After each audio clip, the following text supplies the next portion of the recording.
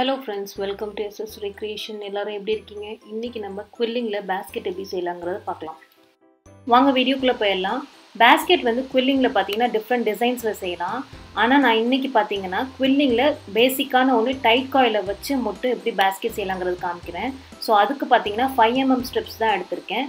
So நாலு colours எடுத்திருக்கேன். நாலு கலர்ஸ் என்னென்ன பார்த்தீங்கன்னா blue pink yellow green colours so எல்லாத்தையும் செலக்ட் பண்ணதுக்கு பிறகு குவில்லிங் நீடில் வச்சு டைட் காயில்ஸ் வந்து ப்ரிப்பேர் பண்ணிக்கிறேன்.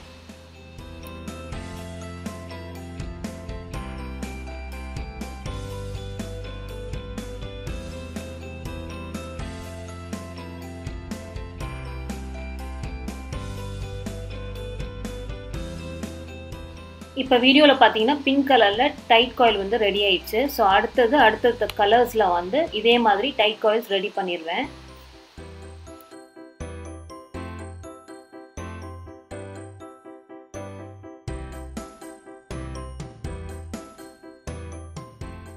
பேஸ்கெட்க்கு தேவையான டைட் காயில்ஸ்லாம் ரெடி பண்ணது பிறகு அடுத்த ஸ்டெப் பார்த்தீங்கன்னா பேஸ்கெட்டோட பேஸு ஸோ அதுக்கு பார்த்தீங்கன்னா ஒரு ஒயிட் கலர் சார்ட்டில் எந்த சைஸில் பேஸ்கெட் செய்ய போகிறேனோ அந்த அளவுக்கு ஒரு சர்க்கிள் வரைஞ்சிட்டு அதை வந்து கட் பண்ணி எடுத்துக்கிறேன் தனியாக ஸோ அதுக்கு மேலே பார்த்தீங்கன்னா ஒரு எல்லோ கலர் சார்ட்டு ஸ்கொயராக அந்த சர்க்கிளோட கொஞ்சம் பெருசாக எடுத்து அது மேலே அது மேலே க்ளூ வச்சு ஸ்டிக் பண்ண போகிறேன்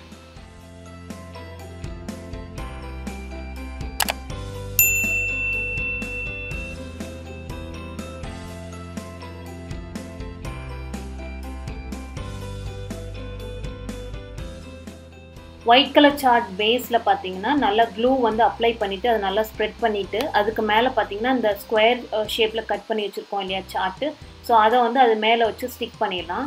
ஸோ பண்ணிவிட்டு அதுக்கப்புறம் பார்த்தீங்கன்னா சைடில் இது சர்க்கிள் நம்ம சர்க்கிள் ஷேப்புக்கு கொண்டு வரதுனால சைடில் பார்த்தீங்கன்னா எல்லாத்தையும் சின்ன சின்னதாக கட் பண்ணுறேன் கட் பண்ணது பிறகு அதை நல்லா ஸ்டிக் பண்ணி விட்டுறேன். ஸோ சர்க்கிள் ஷேப் நமக்கு கிடச்சிரும்.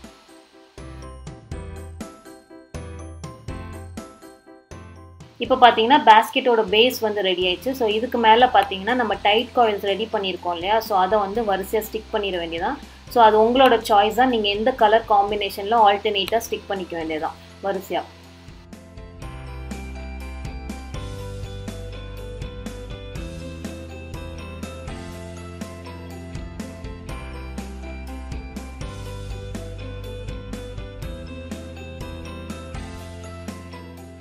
வரிசையாக நான் ஸ்டிக் பண்ணிகிட்ருக்கேன் ஒவ்வொரு காயில்ஸாக ஸோ இப் இதில் நான் எப்படி யூஸ் பண்ணியிருக்கேன் பார்த்தீங்கன்னா எல்லோவும் க்ரீனும் ரிப்பீட்டடாக ப்ளஸ் சென்டரில் வந்து ப்ளூவும் பிங்க்கும் இருக்கிற மாதிரி.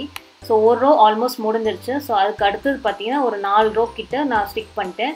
அடுத்தது ஃபிஃப்த்து ரோ ஸ்டிக் பண்ண போகிறேன் எப்போதுமே பார்த்தீங்கன்னா குவில்லிங் செய்யும் போது நமக்கு நல்லாவே பொறுமை வேணும். எதுக்குன்னு பார்த்தீங்கன்னா நம்ம க்ளூ அப்ளை பண்ணிவிட்டு அது நல்லாவே ட்ரை ஆனதுக்கு பிறகு தான் அடுத்த ஸ்டெப் போகும்போது அது நல்லா செட் ஆகி நல்லா அழகாக வரும்.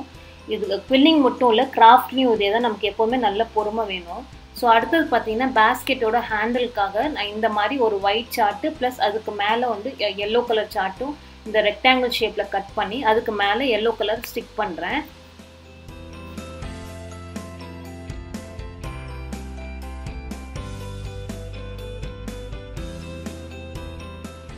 அடுத்தது பார்த்தீங்கன்னா ஹேண்டில் வந்து டெக்கரேட் பண்ணுறதுக்கு ஒரு லீவ் ஷேப் ப்ரிப்பேர் பண்ண போகிறேன் ஸோ அதுக்கு பார்த்தீங்கன்னா அதே நாலு ஸ்டெப்ஸ் கலர்ஸில் டிஃப்ரெண்ட் லீவ் செய்கிறேன் ஸோ அதுக்கு பார்த்தீங்கன்னா மொதல் டைட் காயில் ப்ரிப்பேர் பண்ணுறேன் அதுக்கப்புறம் நம்ம லேஸாக லூஸாக விட்டுட்டிங்க அப்படின்னா ஒரு லூஸ் காயில் ஆகிடும் ஸோ அதை வந்து ப்ரோ சர்க்கிளில் மெஷர்மெண்ட் எடுத்துக்கிறேன். எதுக்குன்னா எல்லாமே ஒரே சைஸில் இருக்கணும் அப்படிங்கிறதுக்காக.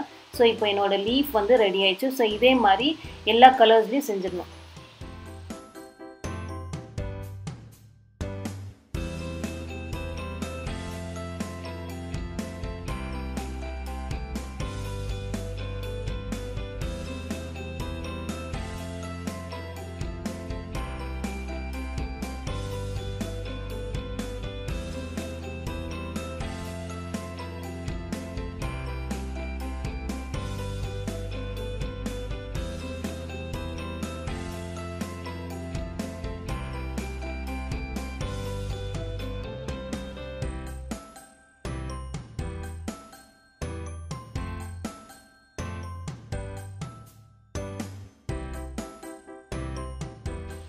ஸோ அடுத்த ஸ்டெப் பார்த்தீங்கன்னா ஹேண்டிலில் நம்ம செஞ்சு வச்சுருக்க லீஃபை வந்து ஸ்டிக் பண்ணிட வேண்டியதான் வரிசையாக டிஃப்ரெண்ட் கலர் காம்பினேஷனில்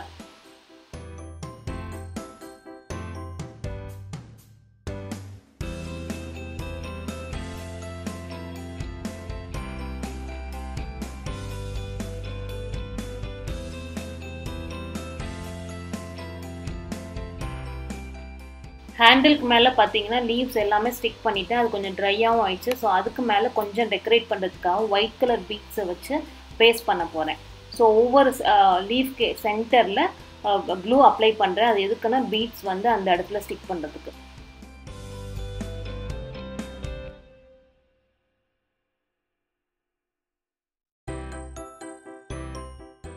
ஸோ ஒவ்வொரு பீட்ஸாக பார்த்தீங்கன்னா லீஃப்க்கு சென்டரில் ஸ்டிக் பண்ணிகிட்ருக்கேன் இப்போ பார்த்தீங்கன்னா நம்மளோட ஹேண்டில் ப்ளஸ் பேஸ் பேஸ்கெட்டோட பேஸ் வந்து ரெடி ஆயிடுச்சு. ஸோ இது எல்லாத்தையும் சேர்த்து ஸ்டிக் பண்ணிட வேண்டியதான் பேஸ்கெட்டை வந்து இன்னும் அழகாக்கிறதுக்கு பார்த்தீங்கன்னா ஒரு பட்டர்ஃப்ளை செஞ்சுருக்கேன். ஸோ இதை வந்து நான் நெக்ஸ்ட் வீடியோவில் உங்களுக்கு காமிக்கிறேன் எப்படி செய்யணுங்கிறது. ஸோ கடைசி ஸ்டெப் பார்த்தீங்கன்னா நம்மளோட பேஸ்கெட் வந்து பேஸ்கெட் ப்ளஸ் ஹேண்டிலை வந்து அட்டாச் பண்ணிட வேண்டியதான் ஸோ அதுக்கு வந்து ஹேண்டிலில் ரெண்டு எண்டுலேயும் க்ளூ அப்ளை பண்ணுறேன் அப்ளை பண்ணதுக்கு பிறகு பார்த்தீங்கன்னா கரெக்டாக சென்டரில் வச்சு ரெண்டு எண்டையும் நம்ம ஸ்டிக் பண்ணிட வேண்டியதான் கொஞ்சம் நேரம் ஹோல்ட் பண்ணி வச்சுக்கணும். கொஞ்சம் ட்ரை ஆகிற வரையும். ஹேண்டில் வந்து பேஸ்கெட்டோட நல்லாவே ஸ்டிக் ஆயிடுச்சு. ஸோ இது ஆல்மோஸ்ட் பார்த்தீங்கன்னா ஃபோர் டு ஃபைவ் இயர்ஸ் வந்து நான் டைம் கொடுத்தேன். க்ளூ வந்து நல்லா ட்ரை ஆகிறதுக்கு. ஸோ அடுத்தது பார்த்தீங்கன்னா பட்டர்ஃப்ளையும் அட்டாச் பண்ணிட வேண்டியதான்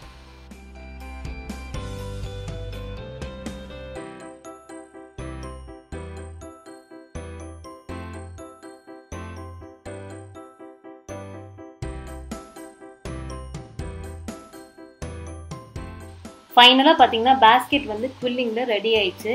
இது ரொம்பவே அழகாக இருக்குது பார்க்கவே ஸோ இதை நம்ம வீட்டில் ஷோகேஸில் வச்சுக்கலாம். இந்த வீடியோ கண்டிப்பாக உங்களுக்கு பிடிச்சிருக்கும். பிடிச்சிருந்துச்சுன்னா லைக் பண்ணுங்கள் ஷேர் பண்ணுங்கள் கமெண்ட் பண்ணுங்கள் எங்கள் சேனலை கண்டிப்பாக சப்ஸ்கிரைப் பண்ணுங்கள் கூடவே இருக்க பெல் ஐக்கனை கிளிக் பண்ணுங்கள் அடுத்த வீடியோவில் உங்களை எல்லாத்தையும் சந்திக்கிற வரைக்கும் பாய்